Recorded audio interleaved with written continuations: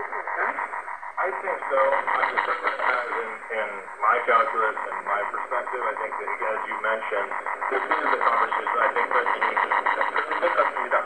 이런 문의가 계속 진행되고 있다고 생각합니다. 당원이 이가 안 좋으실 경우 이런